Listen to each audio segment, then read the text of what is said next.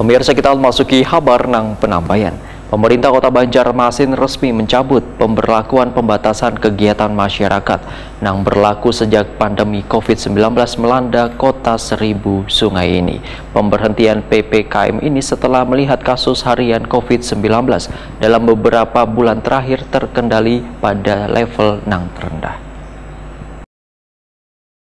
Pemerintah Kota Banjarmasin resmi mencabut pemberlakuan pembatasan kegiatan masyarakat PPKM yang diberlakukan sejak pandemi COVID-19 melanda kota Seribu Sungai ini. Pemberhentian PPKM ini sesuai dengan kebijakan Presiden RI Joko Widodo yang secara resmi mencabut pemberlakuan pembatasan kegiatan masyarakat mulai Jumat 30 Desember 2022. Keputusan pemerintah kota pun diambil setelah melihat kasus harian COVID-19 dalam beberapa bulan terakhir terkendali pada level yang rendah.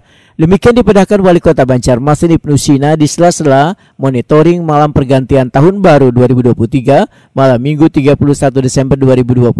Menurut Ibnu Sina, dicabutnya PPKM tepat pada akhir tahun 2022 merupakan kado terindah bagi warga Indonesia khususnya Banjarmasin sehingga warga sudah boleh melepas masker dan berbagai destinasi wisata pun kembali dibuka. Menurut Ibnu Sina, walaupun PPKM telah dicabut, Pemerintah meminta warga untuk kada terlalu euforia di perayaan tahun baru. Bahkan warga yang sakit tetap diminta menggunakan masker untuk menghindari adanya penularan.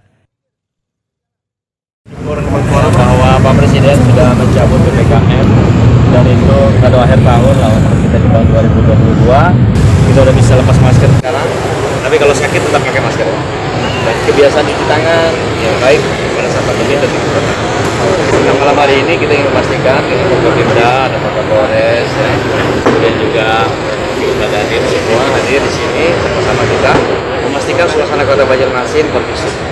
Pergantian tahun kita rayakan, kita syukuri, tapi tetap dengan yang sederhana, sesuai himbauan bersama, surat edaran bersama Forkopimda Kota Banjarmasin bahwa untuk lintasan itu tidak boleh. Kemudian juga ini sebetulnya uh, untuk memastikan saja bahwa kita tidak ingin terjadi kebakaran, tidak ingin terjadi insiden macam-macam dan sebagainya dan memastikan bahwa uh, malam pergantian tahun ini bisa berjalan dengan aman.